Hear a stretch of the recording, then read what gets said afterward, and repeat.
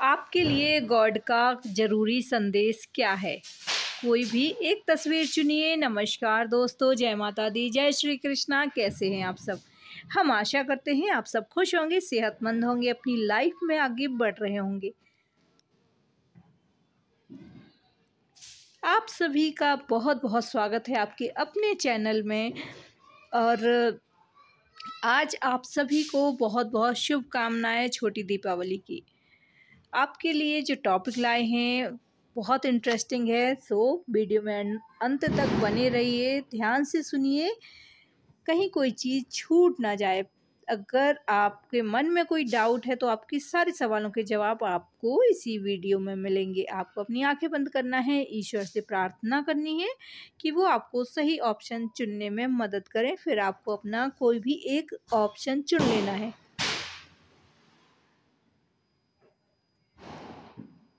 अपने मन को शांत रख के आई होप आपने चुन लिया होगा। देखते हैं टैरो कार्ड आज आपको क्या मैसेज दे रहे हैं। गॉड की तरफ़ से आपको कौन सा ज़रूरी संदेश मिलने वाला है? क्या कुछ बता रहे हैं टैरो कार्ड? अगर आपने चुना है, पहले नंबर की तस्वीर को और आप जानना चाहते हैं कि आपको ज़िंदगी में क्या कुछ मिलेगा और ईश्वर आपको क्या संकेत दे रहे हैं। देखिए, ईश्वर जब भी कोई घटना जीवन में घटती है तो ईश्वर संकेत देते हैं। प्रकृति में कुछ ऐसी घटनाएँ आपको घटित होते हुए दिखती हैं जो फ्यूचर में आपको मिलने वाला है या जैसा आपके साथ होने वाला है।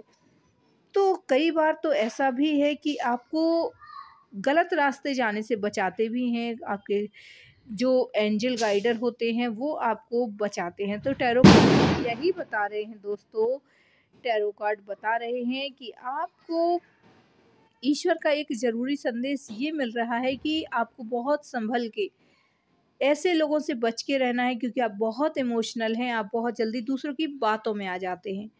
ऐसे लोगों से बचें हैं जो बहुत बातें करते हैं, जो आपके सामने ऐसी तस्वीरें पेश कर देते हैं कि आप उनकी बातों में आ जाएँ और फिर धोखा खा जाएँ। तो ऐसे लोगों के चक्कर में बिल्कुल ना पड़ें। सबसे पहले लॉजिक देखें कि क्या आपके फ़ायदे की चीज़ है। किसी के साथ भी बहुत ज़्यादा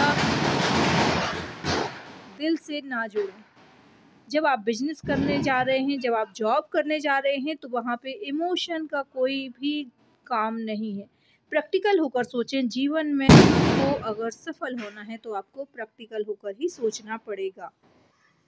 तो आप अपने दिमाग का इस्तेमाल करें, उस समय पे सही डिसीज़न लें।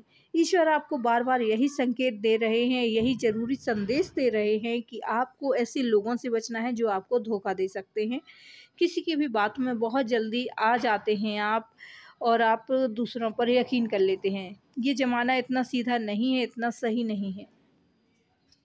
तो दूसरों की बातों में बहुत ज़्यादा ना आए अपने धन रुपए पैसे से रिलेटेड कोई भी निर्णय अगर आप ले रहे हैं, कोई बिज़नेस इन्वेस्टमेंट कर रहे हैं तो अपने घर के बड़े बुज़ुर्ग, अनुभवी लोगों से सलाह मशवरा करें। आई होप आपको समझ में आ गया होगा। जय माता दी, जय श्री कृष्णा। अब बात कर लेते हैं सेकंड ऑप्शन की। अगर आपने चुना है सेकंड नंबर की महारानी, माता रानी के चरण।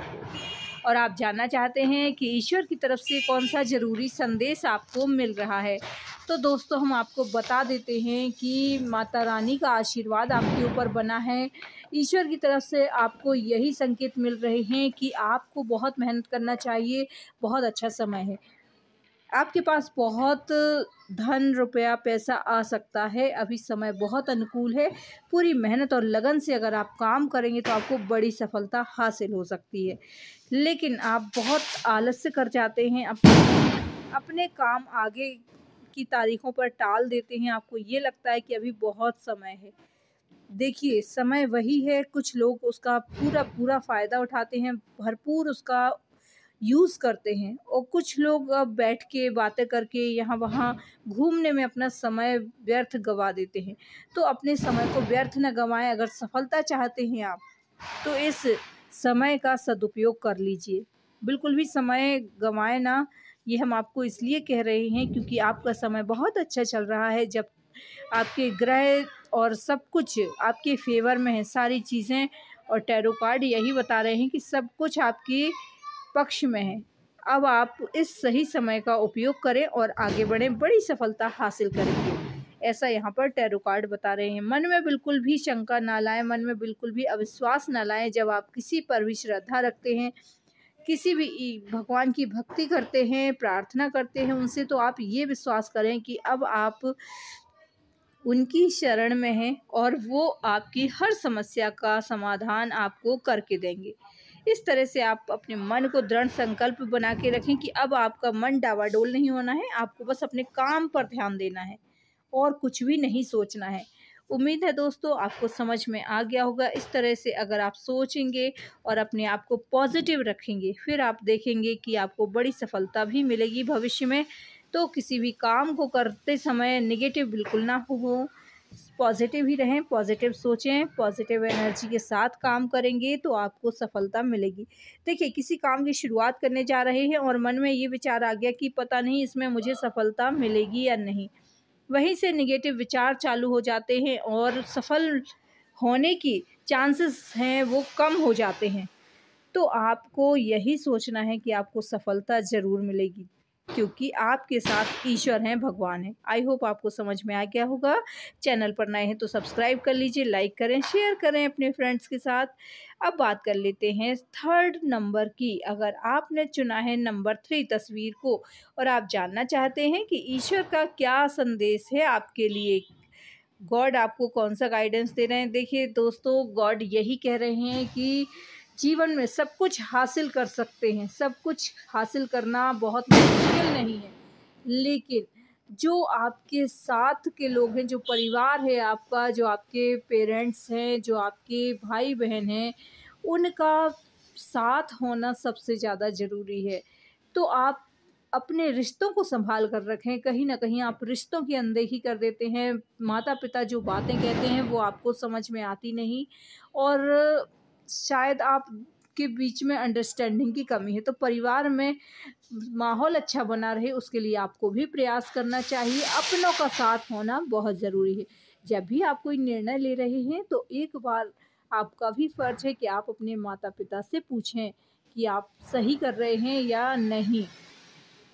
इस तरह से आप अपने काम की शुरुआत करें, बड़े बुज़ुर्गों के आशीर्वाद के साथ, क्योंकि कहीं ना कहीं टैरो कार्ड बता रहे हैं कि आप इस चीज़ की अनदेखी करते हैं, आप बड़ों का कहना नहीं मानते हैं, आप किसी को भी उतना रिस्पेक्ट नहीं देते जितना देना चाहिए। अपने अहंकार को इतना बड़ा मत कीजिए दोस्तों कि किसी और के सामने झुकने में तकलीफ़ हो, बुरा लगे।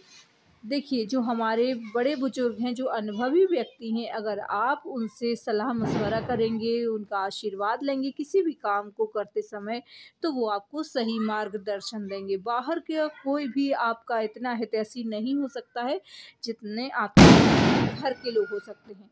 मन में दृढ़ संकल्प करें और आगे बढ़ें अपने जीवन में। ईश्वर आपको यही कह रहे हैं कि आपका मन बहुत ज़्यादा डावाडोल होता है, आप एक डिसीज़न नहीं ले पाते हैं। कभी आपको ये काम अच्छा लगता है, कभी आपको वो काम अच्छा लगता है तो मन को स्थिर करने के लिए आपको मेडिटेशन करना है। आई होप आपको समझ में आ गया होगा। तो अपने मन को भी स्थिर करें, इसके लिए मेडिटेशन करें। ईश्वर पर पूरा भरोसा रखें, पूरी श्रद्धा और भक्ति रखें। जितना हो सके उतना दान पुण्य करें। दान पुण्य करने से कभी भंडारे खाली नहीं होते, इतना आप याद रखें। जितना आप दान करेंगे, उससे कई गुना ज़्यादा होकर आपको वापस मिलेगा। उम्मीद है आपको समझ में आ गया होगा। सो दोस्तों, अपना ख्याल रखिए और चैनल पर नए हैं तो चैनल को सब्सक्राइब करके, लाइक करके, शेयर कर लीजिए। साथ ही कमेंट बॉक्स में जय माता दी, जय श्री कृष्णा लिखना बिल्कुल ना भूलें। मिलते हैं अगले वीडियो में। जय माता दी, जय श्री कृष्णा।